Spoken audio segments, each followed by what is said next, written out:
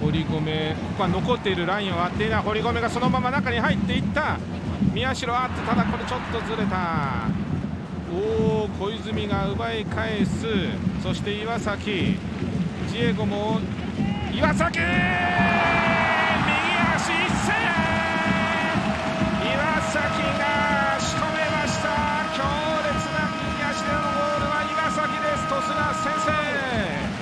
まあ、ここで少しこう足が止まってしまったところと、まあ、この後一度こう鳥栖の方がボールを失うんですけども、まあ、ここでこうプレッシャーいったところでちょっと FC 東京の選手止まってしまったかなと思いますよね、はい。でここでシューターに対してこうあまりプレッシャーがいけなかったのでキーパーからするともしかしたらちょっとブラインドになってしまったのかなと思いますし岩崎からすると内側に入ってこう右足で打てるような状況を作り出したのでん。思い切って打ちましたしこう巻きながらのシュート、えー非常にこう岩崎の得意の形の一つだと思いますよね。